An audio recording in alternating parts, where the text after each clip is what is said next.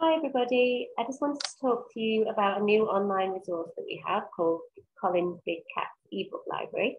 It's a great resource which enables your child to read books at home on a computer, a tablet or a phone, and it will be a book that has been assigned to your child by their teacher.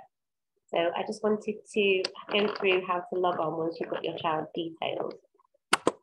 So this is a parent guide that you'll be sent by the app it's got all the information here how to log on. This is the web page that you'll need. So you can click on this web page here and it will take you to um, a web page with this on it.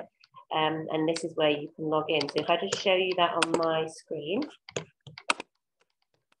so the web page will take you here and then you can tap in the username at the top and then the password in log on. And it will load up the books that your child has been assigned. So this is the teacher one, so it's got quite a few books on here, but I'll just go on to the first one. So there will be a book or maybe some books assigned to your child. You just click read, and then it takes you to that book.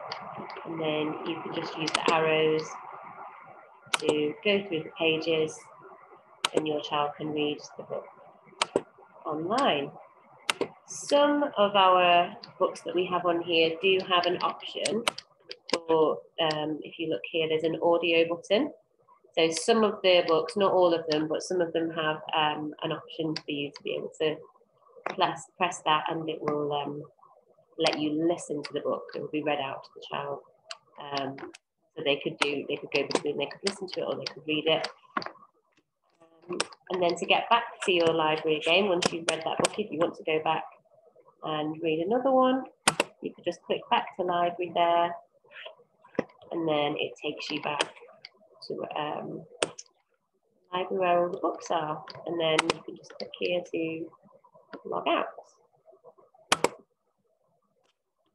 So that's how to use our new online library resource like I said, you will get the parents guide as well. But if you've got any questions or um, anything uh, about that, you want any help logging in or any support, please just let us know.